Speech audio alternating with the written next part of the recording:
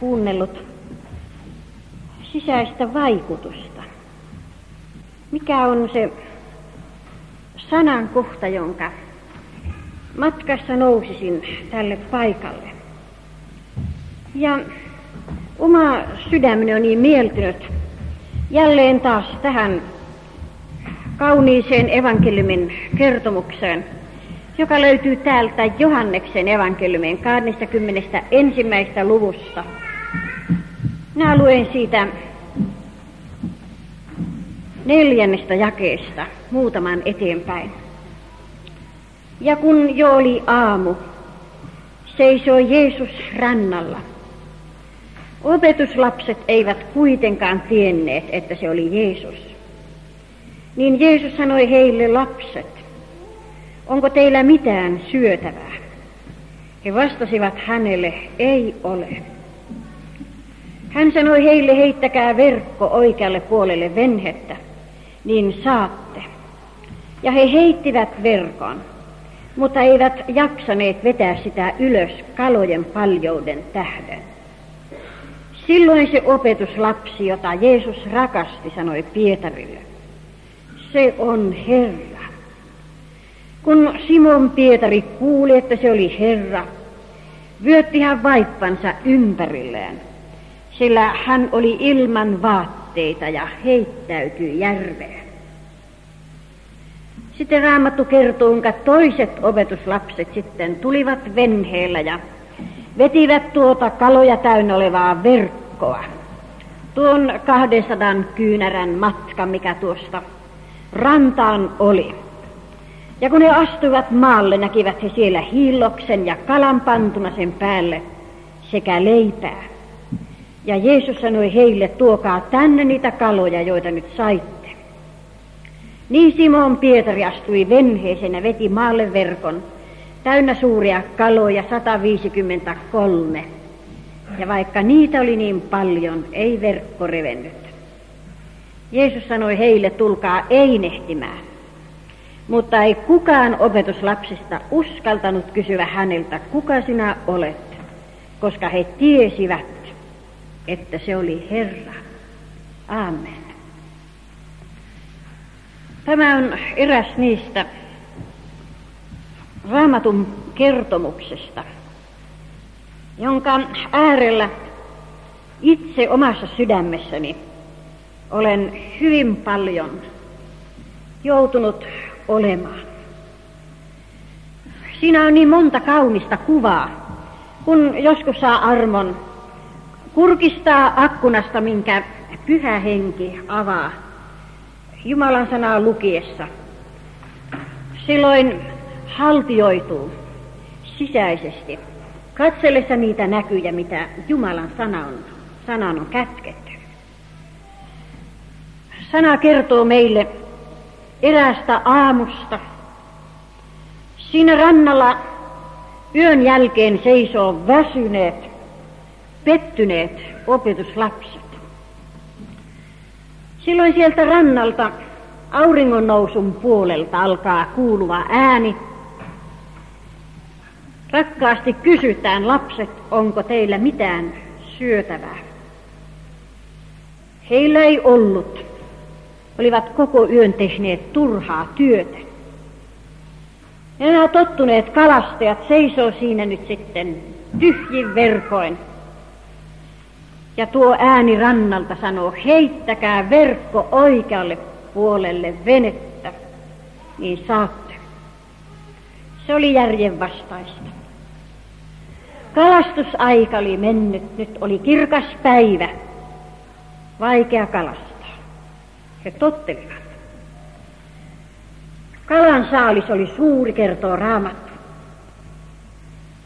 Silloin se opetuslapsi, jota Jeesus rakasti näin kauniisti tässä puhutaan, tuntee tästä kaikesta ensimmäisenä, kyllä se on Herra, jonka neuvoja tässä nyt on noudatettu ja koettu tämä ihme, mikä tässä on edessämme. Ja kun Pietari tämän kuuli, mitä Johannes sanoi, se on Herra, hän katsahti tuonne auringon nousuun päin ja silloin Jumalan sana kertoo, hän vyötti tämän vaipan ylle ja hyppäsi venheestä pois ja ui 200 kyynärää kohdatakseen Herran kahden kesken. Mitä varten? Miksi ei menty yhdessä venheessä suuren saaliin kanssa riemuiten hänen luokseen, jonka sanojen alla tämä ihme oli tapahtunut. Minkä vuoksi Pietari hyppäsi venheestä ja ui Herraa kohden.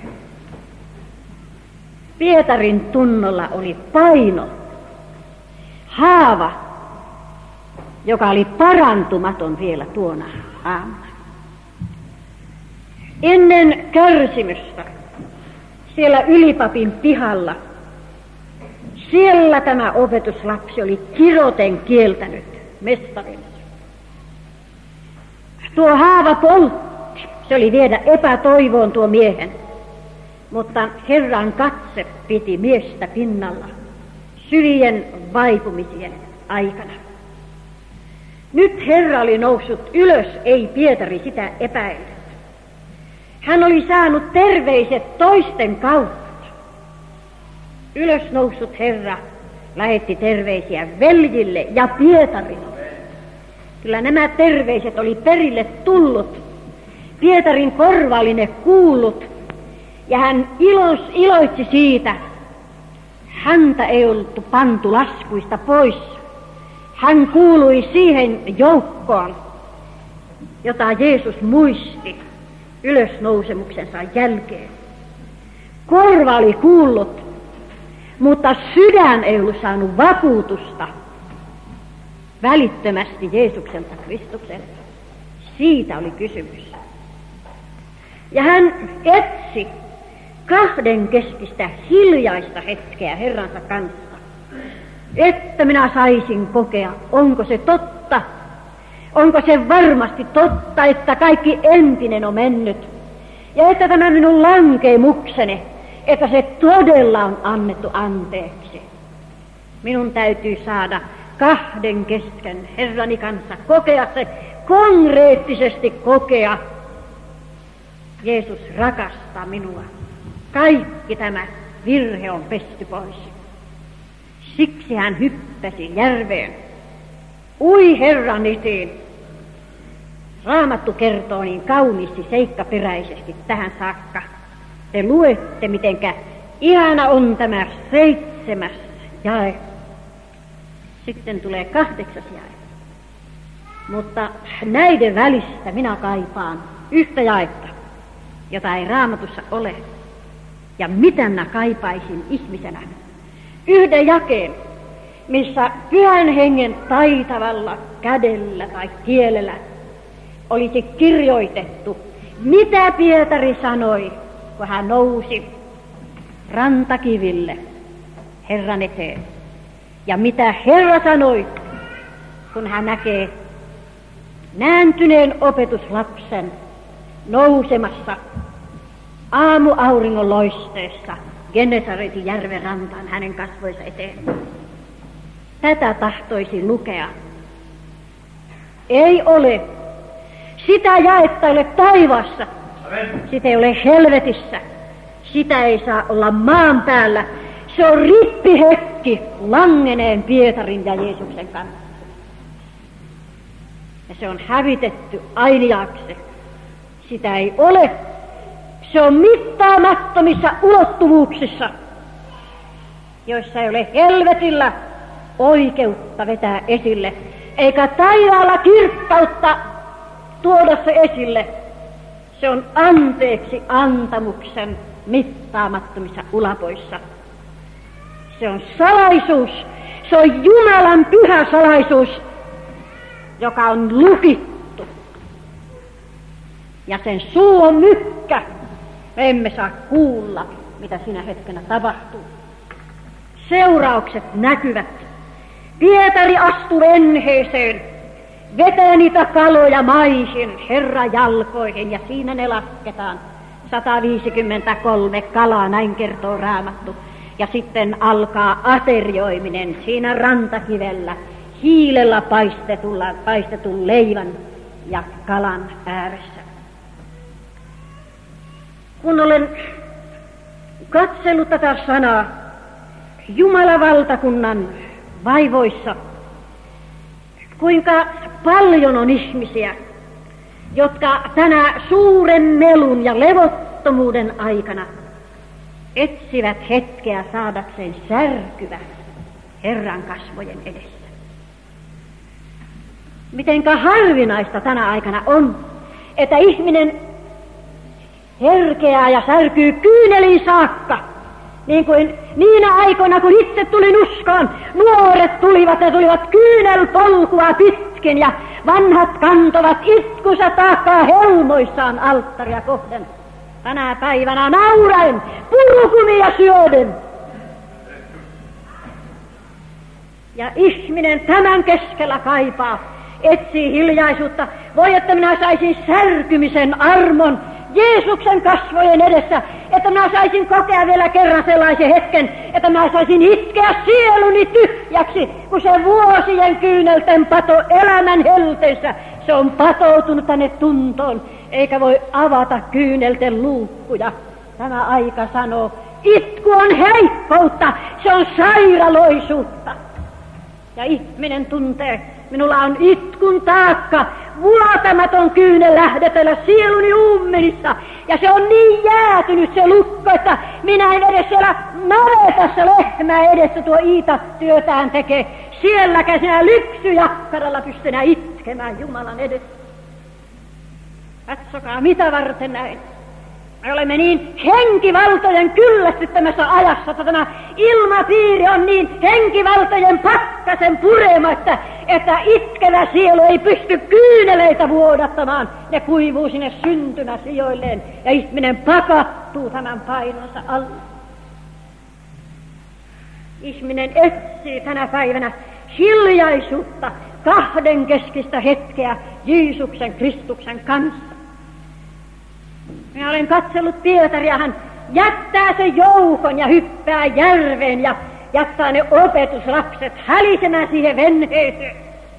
Minusta tuntuu, että tämän päivän seurakunnat on niin kiirettä ja touhuva täynnä, kun, kun ollaan se seurakunta venheissä, että ihmisellä ole hiljaisuutta itkeä Jumalan edessä. Sen täytyy lähteä erämaahan ja korpeen sinne erämajaan. Kuka niin kauniisti sitä puhui pitää etsiä hiljaisuutta, voidakseen itkeä kasvosa märäksi Jumalan rakkauden alla. Minä sanoisin ystävät, särkyminen Herran kasvojen edessä. Se kun saa oikein sielunsa kääntää nurin, uskaltaa kääntää, tuoda ne salatut kätköt ja arvet ja ne vuosien painot, jotka tuntua painaa, kun uskaltaa ne kääntää Jeesuksen rakkaiden kasvojen eteen. Siihen meillä on oikeus. Minä sanoisin teille helluntalaiset ja adventistit ja vapaakirkolliset ja luterilaiset. Se on sellainen hetki ja sellainen hetki Jumalan kasvo edessä, että kannattaa jättää joukko hetkeksi ja etsiä hiljaista kirkkopyhää Jumalan kasvojen edessä. Herra on antava sen, kiitetty olkoon Herran nimi. Tuona hetkenä, kun ahdistettu sydän kantaa tuntonsa haavoja taakkoja Herraa kohden. Kuulystava, vaikka ne painot olisi minkalaiset, kun minä saan ne painoni laskea haavoitettuun käteen, juuri sellaisen kuin ovat, Halleluja. Silloin se puhdistuu. Se lukitaan. Ja minä olen niistä vapaa.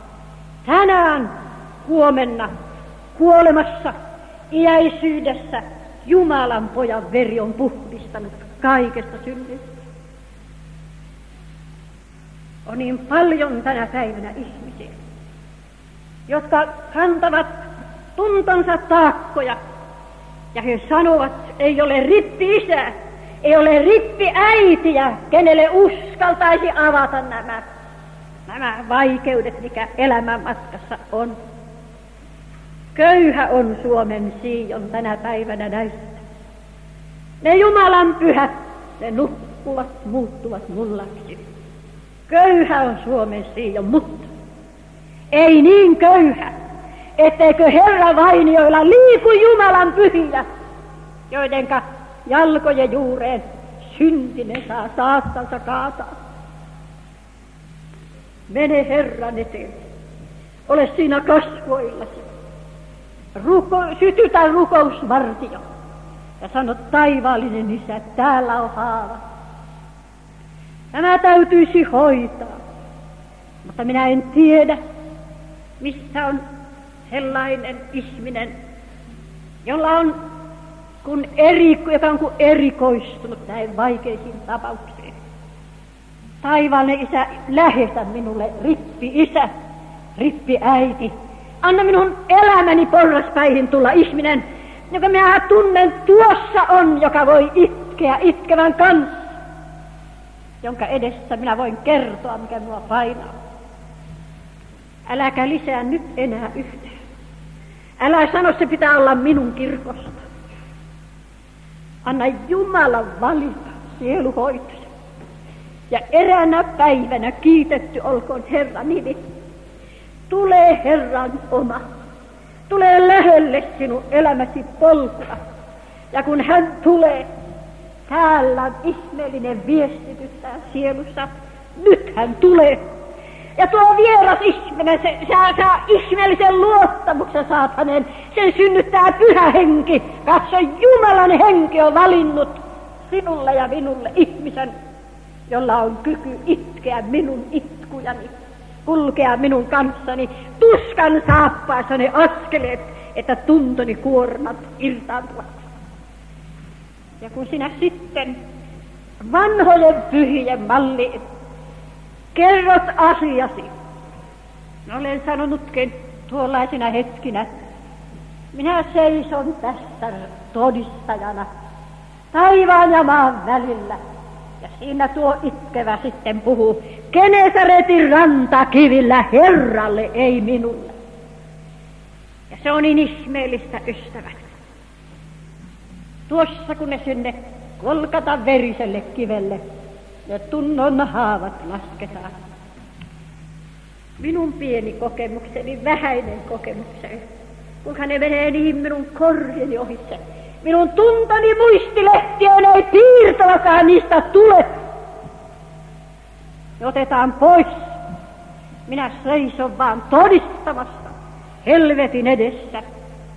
Tämä hetki on ollut rippihetki Jeesuksen Kristuksen kasvojen edessä. Kuulkaa ystävät, tuolta paikalta, kun ne lasketaan veristen kätten alle ja Jumalan pojan veri puhdistaa kaikista sy- synnistä. Kuulkaa, siitä hetkestä ei ne lähde kiertämään matkassa nämä tuntojen taakat.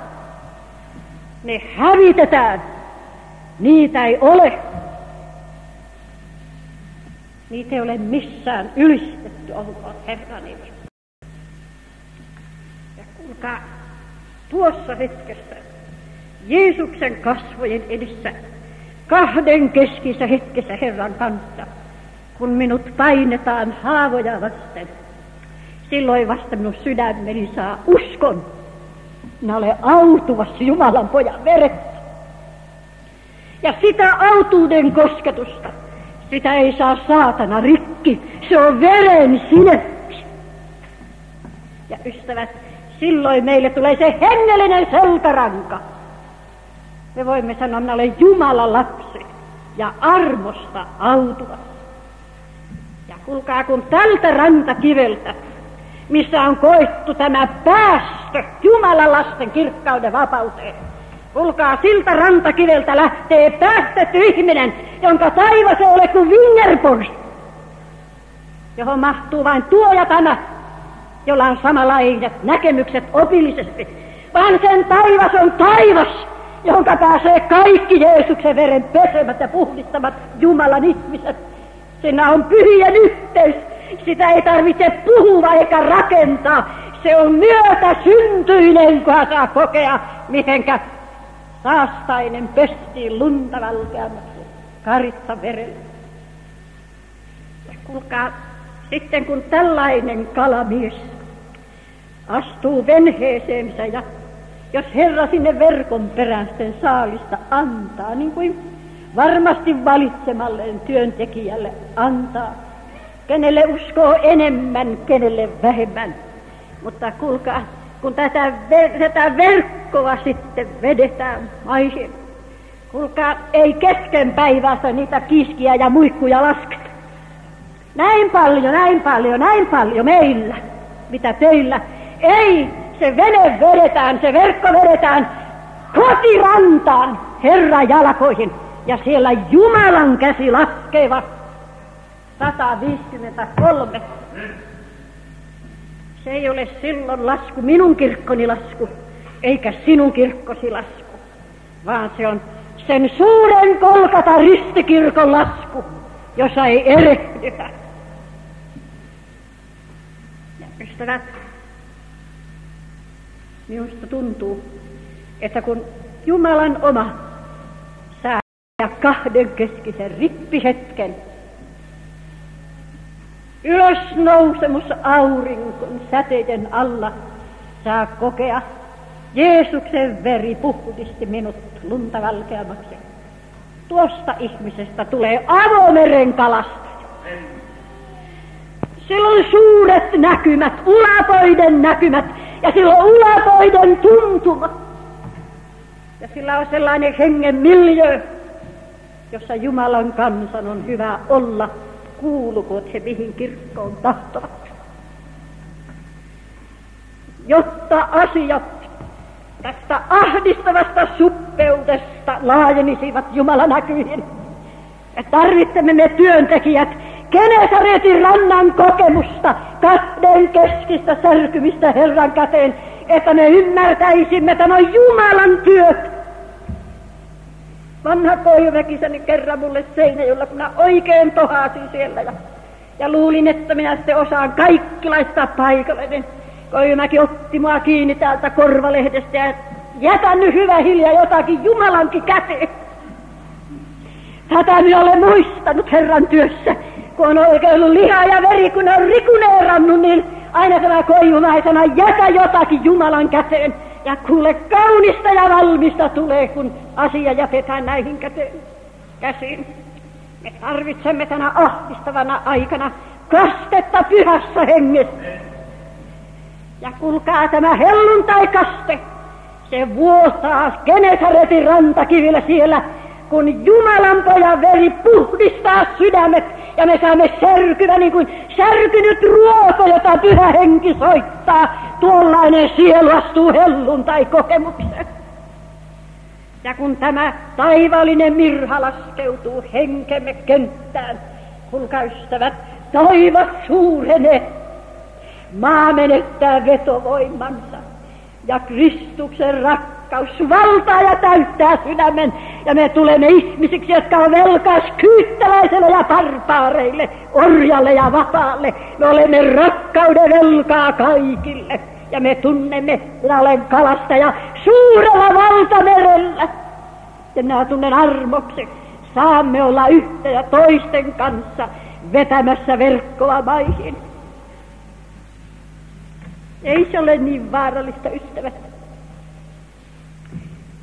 Jos tällaisessa yhteisessä kokouksissa, jos joku herraa etsii, ja se sitten liittyykin toiseen seurakuntaan kuin minun seurakuntaan.